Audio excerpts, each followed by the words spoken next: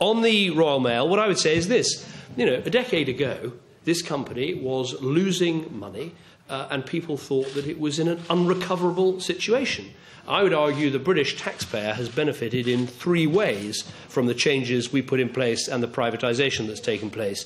There's the benefit of a sale of Royal Mail and the capital receipt. There's the benefit that this is now a profit making company paying taxes into the exchequer.